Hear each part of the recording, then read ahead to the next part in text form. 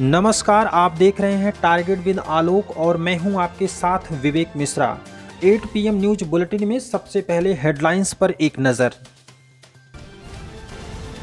USCIRF ने जारी किया अंतर्राष्ट्रीय धार्मिक स्वतंत्रता रिपोर्ट, भारत को विशेष चिंता वाले देशों की सूची में किया शामिल।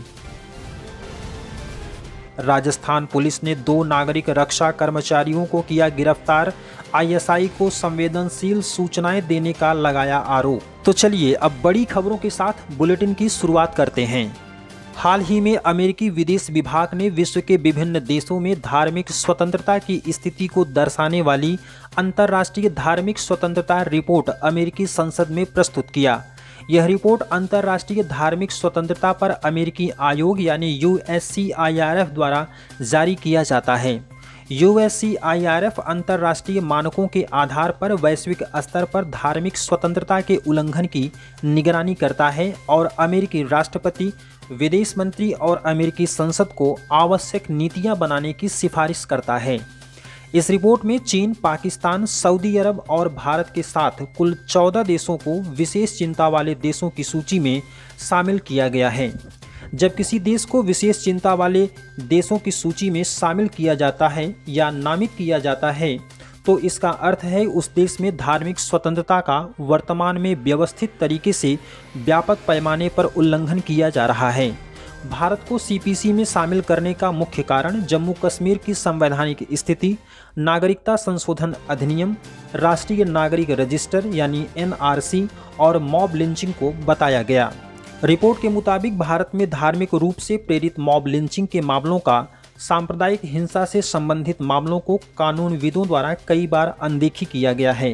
साथ ही रिपोर्ट में गौरक्षा के नाम पर की जाने वाली भीड़ हिंसा की घटना और सर्वोच्च न्यायालय द्वारा राम मंदिर निर्माण के संबंध में दिए गए निर्णय और 2018 में सबरीमाला मंदिर में महिलाओं के प्रवेश के संबंध में दिए गए निर्णय पर रिपोर्ट में विस्तृत चर्चा की गई है। राजस्थान पुलिस ने हाल ही में सैन्य खुफिया सूचनाओं के आधार पर जयपुर में दो नागरिक रक्षा कर्मचारियों को गिरफ़्तार किया है। उन्हें इस इनपुट पर गिरफ़्तार किया गया था कि वे पाकिस्तान की जासूसी एजेंसी आईएसआई को संवेदनशील सूचनाएँ दे रहे थे, जिसका इस्तेमाल पाकिस्तान भारत विरोधी गतिविधियों के लिए कर रहा था।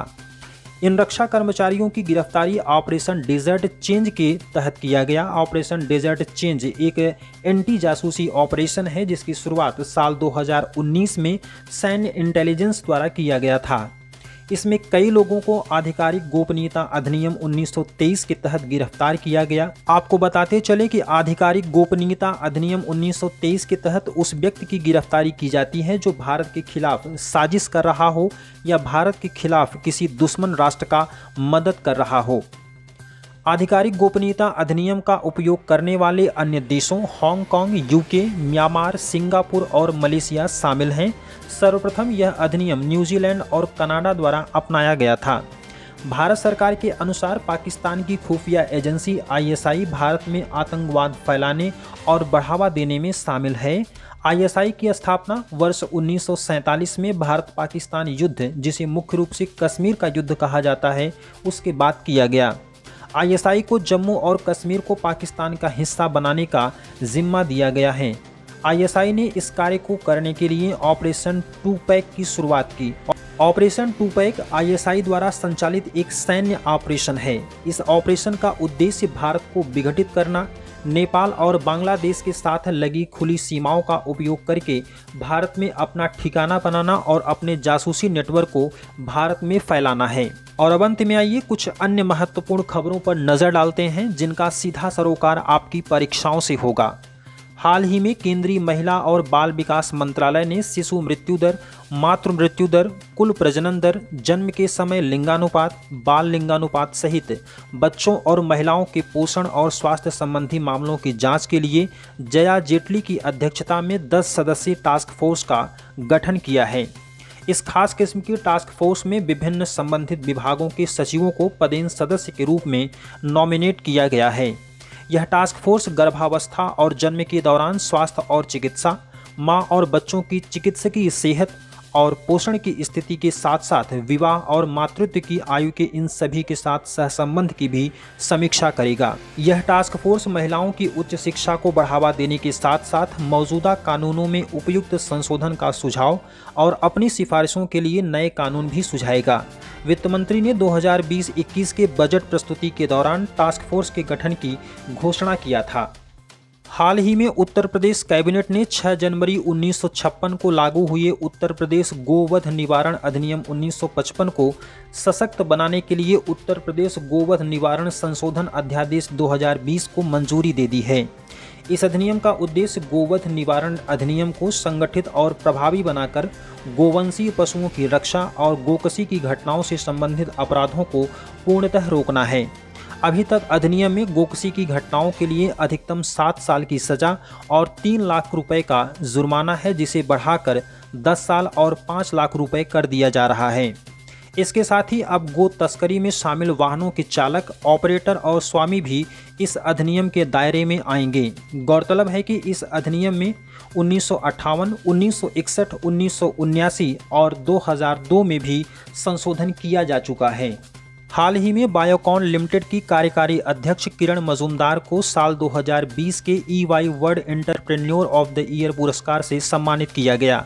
41 देशों की 46 उद्यमियों में से यह पुरस्कार जीतने वाली भारत की पहली महिला उद्यमी और तीसरी भारतीय हैं।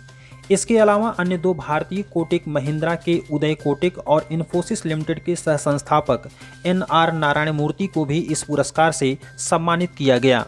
आपको बताते चलें कि किरण मजूमदार साल 2011 में सिंगापुर की हाई फ्लक्स लिमिटेड के ओलिविया लुम के बाद इस खिताब को जीतने वाली विश्व की दूसरी महिला हैं। हाल ही में एशियाई शेरों की आबादी का आंकलन किया गया, जिसमें गुजरात के वन क्षेत्रों में एशियाई शेरों की आबादी तकरीबन 29 फ़ीसदी बढ़कर छः हो गई है।